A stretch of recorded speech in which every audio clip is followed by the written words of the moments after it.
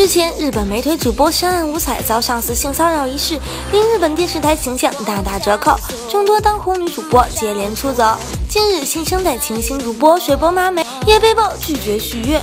水波麻美凭借甜美的笑容和活泼的个性，获得了超高的人气，甚至被誉为日本电视台的救世主。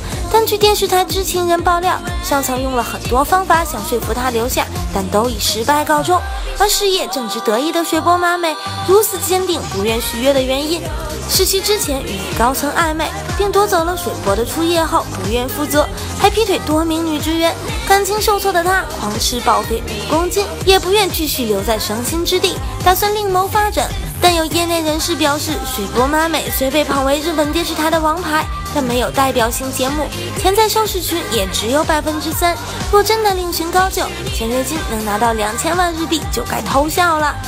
渣男大叔们，快放开你们的咸猪手，不要再碰我们的女神啦！电视机前的宅男们可就是冲着女神去的呀。如今女神都不在了，你让我们看谁去呀？优酷娱乐播报整理报道。